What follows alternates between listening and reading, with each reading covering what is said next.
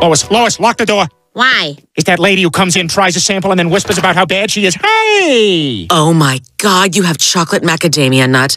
Oh, could I just try a little sample? Oh, I'm so bad. Uh, sure. You gonna buy a cookie this time? Oh, I better just stick with the sample. I'm so bad. But at least I know I'm bad, so that makes me a little less bad. Or worse. That was the right thing to do, Peter.